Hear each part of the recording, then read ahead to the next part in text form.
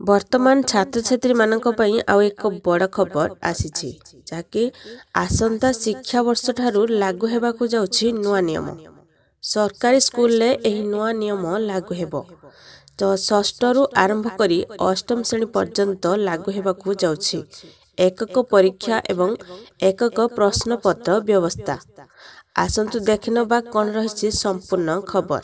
ଭିଡ଼ିଓକୁ ଲାଇକ୍ କରନ୍ତୁ ଚ୍ୟାନେଲକୁ ସବସ୍କ୍ରାଇବ୍ କରି ପାଖରେ ଥିବା ବେଲ୍ ଆଇକନ୍କୁ କ୍ଲିକ୍ କରନ୍ତୁ। ଆଗାମୀ ଦିନରେ ଅନ୍ୟ ସ୍କୁଲ ଶିକ୍ଷକଙ୍କ ଦ୍ୱାରା ପିଲାଙ୍କର ଖାତା ଦେଖାହେବ। ଏଥିସହିତ ସମସ୍ତ ପିଲାଙ୍କର ରେଜଲ୍ଟ ପ୍ରକାଶ କରିବାକୁ ମଧ୍ୟ ବିଦ୍ୟାଳୟ ଗଣଶିକ୍ଷା ବିଭାଗ ନିଷ୍ପତ୍ତି ନେଇଛି। ତେବେ ଏହି ନୂଆ ନିୟମ ବ୍ୟବସ୍ଥା ଲାଗୁ ହେବା ଫଳରେ ପିଲାଙ୍କର ଦକ୍ଷତା ଜଣାପଡ଼ିବ।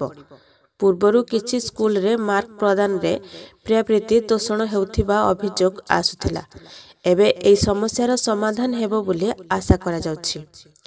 ସର୍ବଭାରତୀୟ ସ୍ତରରେ ସିବିଏସ୍ଇ ରାଜ୍ୟରେ ଶିକ୍ଷା ବିକାଶ ଅଧୀନରେ ପରିଚାଳିତ ହେଉଥିବା ଏହି ବିଦ୍ୟାଳୟଗୁଡ଼ିକରେ ଏକକ ପ୍ରଶ୍ନପତ୍ର ବ୍ୟବସ୍ଥା ରହିଛି।